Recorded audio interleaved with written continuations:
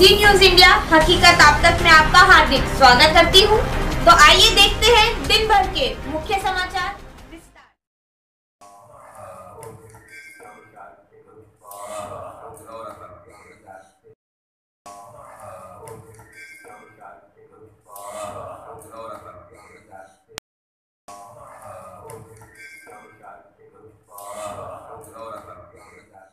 इसी के साथ जी न्यूज़ इंडिया हकीकत आप तक से जुड़े रहने के लिए हमारे चैनल को सब्सक्राइब, लाइक एंड शेयर करें।